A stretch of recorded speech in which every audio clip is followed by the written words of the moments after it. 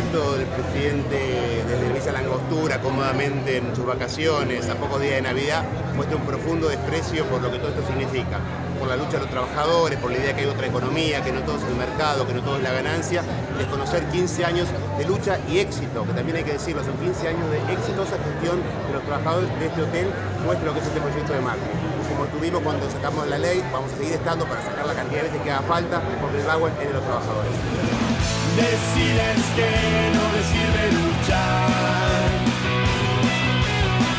Decime que no me sirve luchar.